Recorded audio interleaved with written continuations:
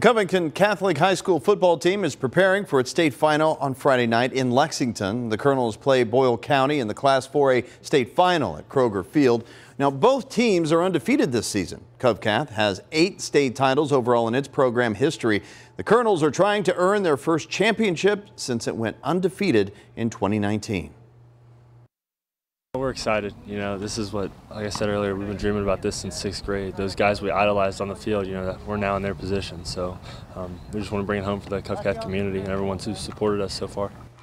CovCath is actually uh, one of two Northern Kentucky teams in the state finals this weekend. Cooper plays in the 5A state final Saturday night in Lexington.